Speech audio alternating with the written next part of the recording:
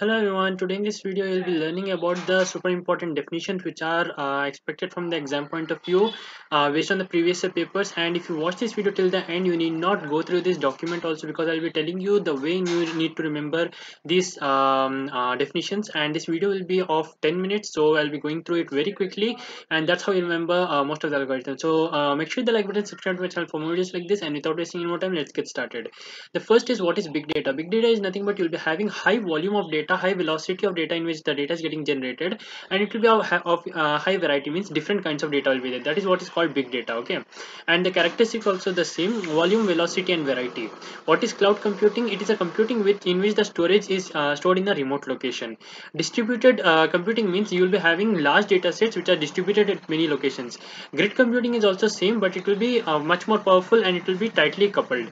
And cluster computing will be having separate clusters of computers for doing separate tasks whereas volunteer computing is there uh, where the computers will be given as the volunteers for the providing of the resources. Okay then we have the five layers in the data architecture. See basically what happens in the initial parts of the data uh, you'll be getting the data you'll be uh, cleaning the data then you will be uh, storing the data somewhere you will be processing it then you will be uh, applying the data means using it for application. Those are the five layers of data architecture. And the different types of data if they ask you have to write structured semi-structured uh, unstructured and multi-structured data. How do you do the data processing? Data processing is done by uh, removing the unwanted data. You can either remove the outliers redundant values irrelevant values. After you have remove that you can do the data cleaning. Enrichment means adding new features to it. Editing means making it more relevant analysis and transforming the data into better purpose. Next we have the berkeley data analysis stack which is bdas here we have the three main things as in the everything we have data storage processing and the application. These are the three things you have to keep in mind. First you will have the data you'll process it then you will be using it for application. Just the examples also you have to write along with that. Where are big data uh, getting used? What are the applications of big data? It is used in marketing and sales and detection of marketing frauds credit card risks and coming to the healthcare sector you'll have in medicine as well as healthcare. Coming to financial sector you'll be having in the finances and the banking. Also you'll be having in the advertising sector. Moving on to module 2 we have the first question what is hadoop uh, core component the diagram you remember in the architecture video i discussed uh, in uh, middle part you will be having common libraries. Then you will be having hdfs storage. Will be storing the data. To process the data you will be having the yarn where you can uh, schedule the data. And mapreduce is for making it more efficient then we have the different types of nodes which is the in the hadoop architecture which is the client node which sends the request to the name node and name node handles the slave nodes. Then we have the HDFS commands. You have to make a directory put something into a directory list the directory names and copy the directory. These are the four commands you have to write with example.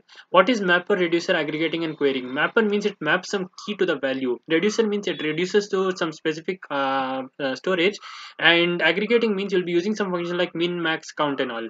And querying means you are finding out some data what is hadoop? Yarn it is a resource negotiator or a resource manager. And this is for 12 marks have a look. Uh, what is hdfs block replication? You'll be having one block. You'll be replicating it to different parts of the system so that if one node fails you'll have the another one. Safe mode means you cannot uh, read it. Uh, you cannot uh, do any changes or replicate it. Only you can read the data. Rack awareness means you are having a knowledge of what all is in the rack how it is structured. Name node availability means name node will be available in many places of the system. Okay so once you, you go through it, you'll get to know the key points. Also, you can write no onwards. Next, we have the Hadoop ecosystem tools. Here we have the total 12 tools. If they ask for 8 marks, you have to write at least 8 ones. Okay, so how do you remember this one is? Start from here. Hive means what? It's a uh, like a B structure, right? B hive will be there like that. It is data warehouse system. Pig means data flow languages. Pigs will be flowing in some gutter, right? And Mahout is the machine learning. M for Mahout, M for machine learning. These three you got. Then Sqoop and Flume data transfer and large data transfer. Oozie is for coordinator. And Zookeeper, what does Zookeeper do? It coordinates the services in the zoo. And avro is for data serialization. Okay like other ones if you can remember you can remember all this much is sufficient for you. Moving on to module 3 we have what is no acid properties. Acid properties means atomicity consistency isolation and durability.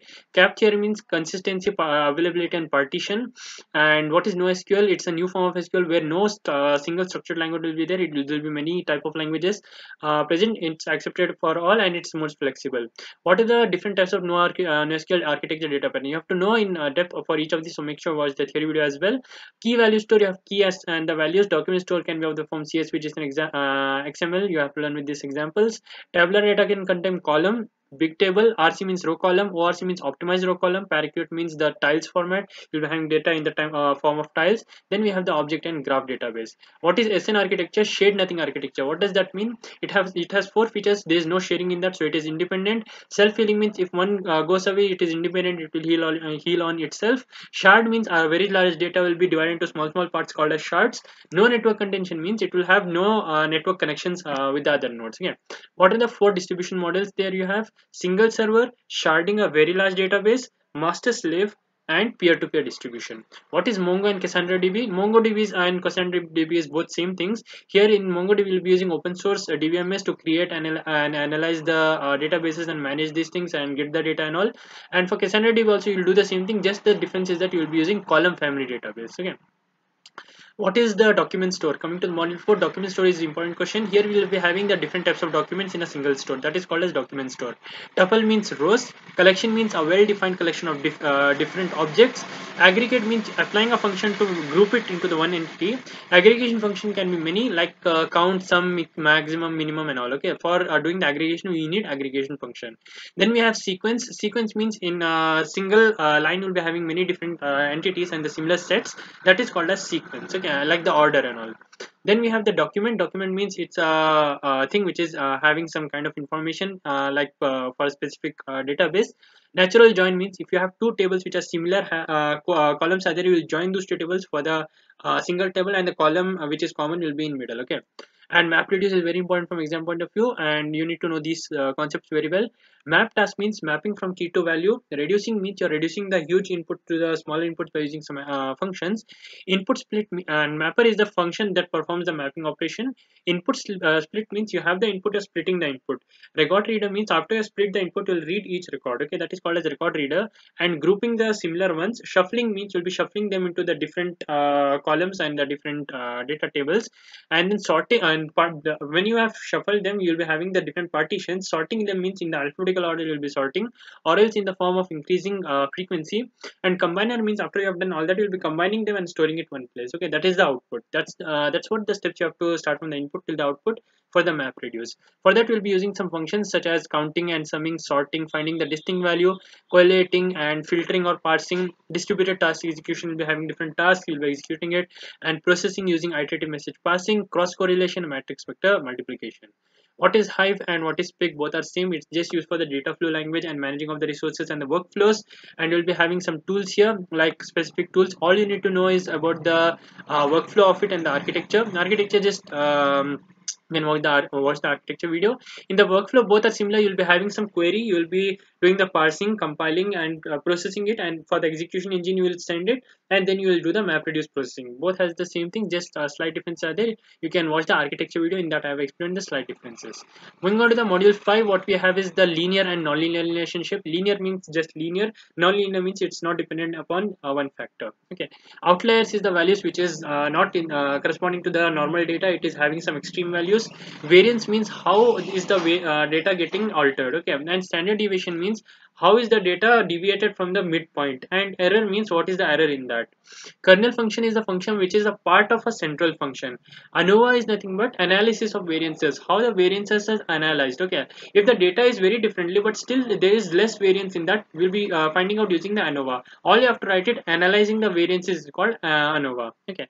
What is correlation indicators? The in, the things which indicate what is the correlation between two things is called uh, correlation. Like uh, for example temperature and humidity. If temperature rises humidity will be rising. Okay that is called as correlation.